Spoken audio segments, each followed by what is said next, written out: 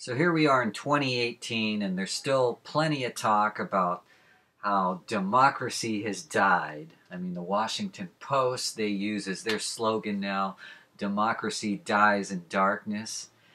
And there's just this sense that no matter what, uh, there's going to be a system in place that doesn't work for the people. That the system needs fixing because it gave us Trump. but not just Trump, it gave us Hillary Clinton. So those two party leaders were very unpopular, very much not what the American public wanted.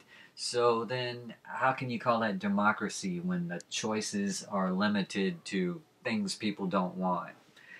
So, the lesser of two evils prank, that needs to change we've been going through that so many decades now and people are just getting tired of politicians promising something and then ending up just being buds with big biz and then throwing crumbs to the people. That's what happens just about every time. So, people need to just be aware that they have power beyond voting. In fact, voting is probably the least of your powers because you don't know if your vote's going to count. Every state has their own rules deciding whether or not your vote is legit or not, and they don't make that a big deal. So, for all you know, you you none of your votes have ever counted. So, that's just something to think about democracy is in question. Obviously, the Electoral College didn't match the popular vote in the 2016 election. Same way with the 2000 election. And a lot of people are upset that that's not really democracy. And I could see that. I mean, but either way, uh, you know, people forget that uh, Hillary Clinton did not get 50% of the vote. She got like 48% to Trump's 45%. So they were both plurality candidates, meaning neither had a majority. So democracy really is supposed to mean majority rule. Majority does not mean whoever gets the most votes. It means whoever gets more than half the votes.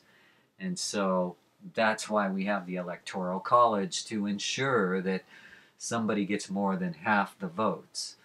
And unfortunately, that was Donald Trump in 2016.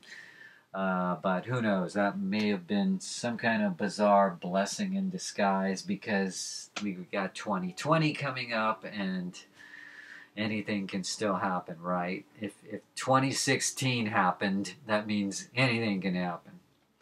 So, anyway, here's a song I wrote about how democracy is still within our power. We just need to reach for it more. This song's called Let's Restore Democracy. Let's restore democracy. Let's not let the system collapse. Let's see through hypocrisy. Let's not fall in circular traps. Inform yourself reach for higher ground. Feel the power of now. Spread good vibes around.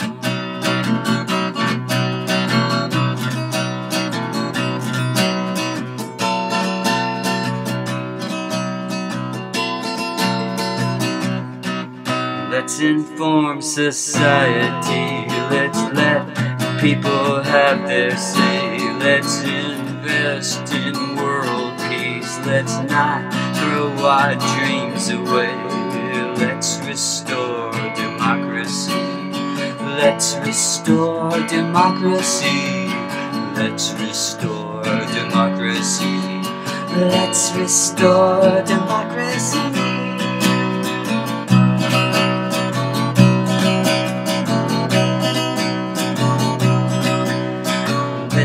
Respect diversity.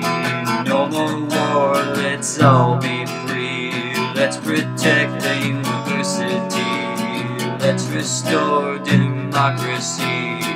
Let's restore democracy. Let's restore democracy.